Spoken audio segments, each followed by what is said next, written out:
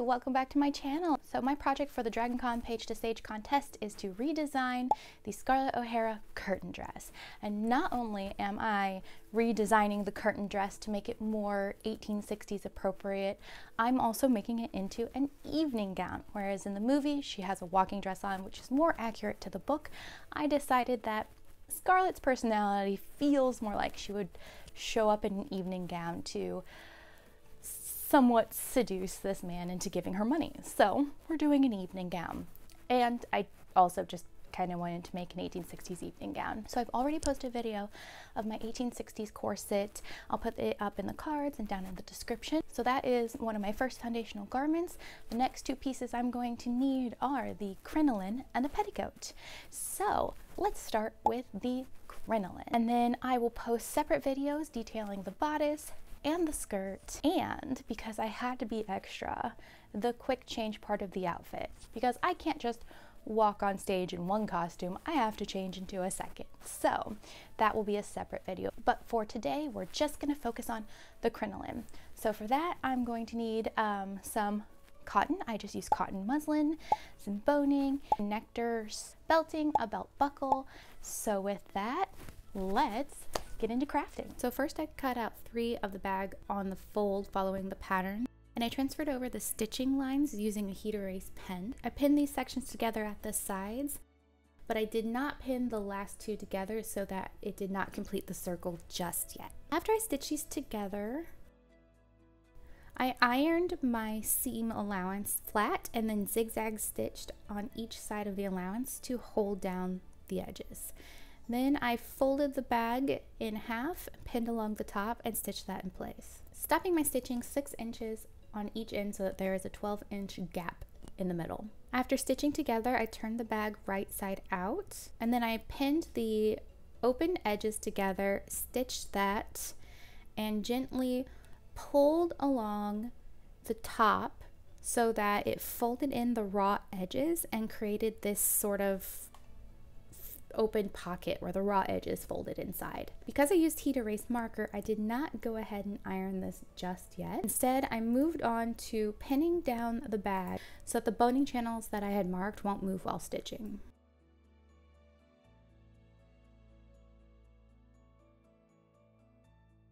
Now it's time to iron to work out all these wrinkles and erase the heat erase pen.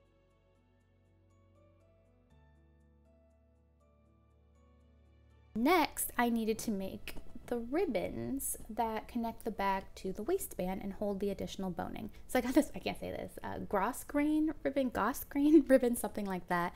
And using the pattern piece, um, I went ahead and measured out eight strips. And I transferred over the markings for the boning channels on each strip. So next I need to mark where the ribbons will be stitched onto the top of the bag. So starting at the center back, I worked around the bag, placing a mark seven and a half inches from the center and then every 15 inches from there so that each ribbon will be 15 inches away from the next ribbon.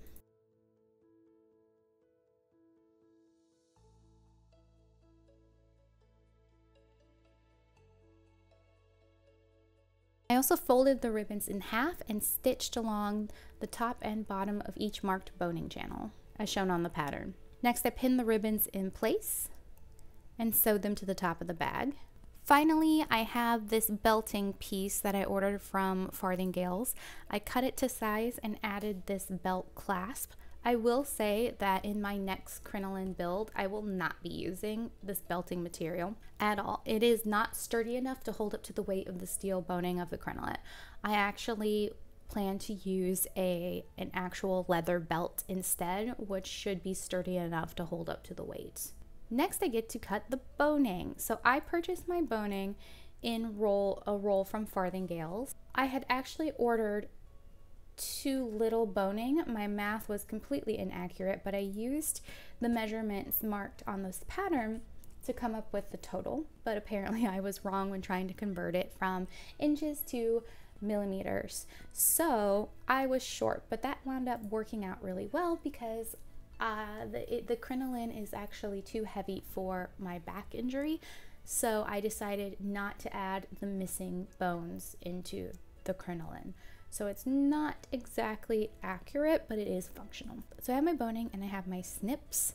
So I'm about to make a really funny mistake.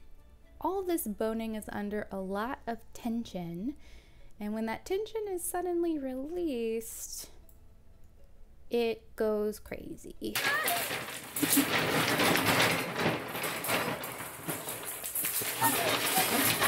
Anyway, I went ahead and cut the boning out as indicated on the pattern. So I cut hoops 10 through 7 at the medium length because that was the circumference I was making. And then I did hoops 5 and 6 and then hoop 1. I'm missing hoops 2, 3, and 4 on my crinoline. The instructions said to overlap the last four inches of the boning and fasten those or clamp in, in place with tape or wire or some other means. However, I purchased these boning connectors that just slide onto the ends. So this means that when I cut my boning originally, every bone had an extra four inches that I had to go back and cut off. I actually think it was four and a half because the boning connector added a little bit of um, length to it. So that was a little frustrating to waste some of the expensive steel boning, but that's what I had to do. Once I had the hoop wires cut, I was able to slide four of them into the boning channel in the bag as marked on the pattern.